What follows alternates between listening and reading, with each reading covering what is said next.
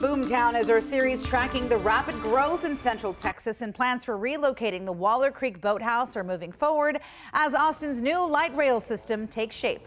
Bryce Newberry is live at the boathouse this morning, which will eventually have to be torn down. Good morning, Bryce.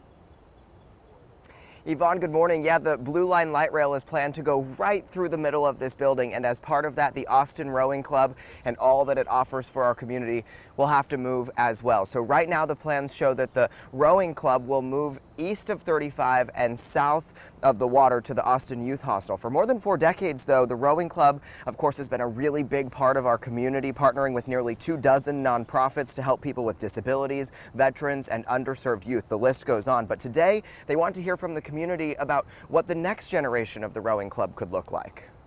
What we are very focused on right now is the next steps now that we have a future location uh, determined with the city is what is what would the community like to see in that facility? What are the types of amenities and programming that are relevant to the community uh, that we can continue to support?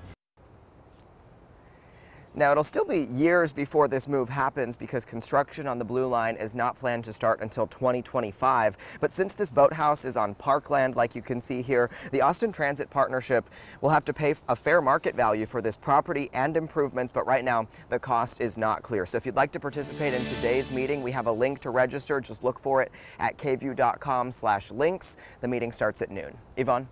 All right, noon it is. Thank you so much.